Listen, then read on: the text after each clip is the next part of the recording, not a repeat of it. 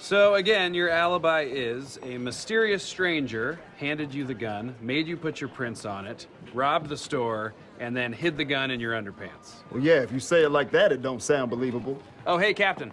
Did you get my report on the Finley murder? Uh, yeah, I looked it over. Nice work. Good. Thanks, Dad. Why is everyone staring at me? You just called Captain Holt dad. You said thanks, dad. What? No, I didn't. I said thanks, man. Do you see me as a father figure, Peralta? No. If anything, I see you as a bother figure because you're always bothering me. Hey, show your father some respect. I didn't call him dad. No, no, no, no. Jacob.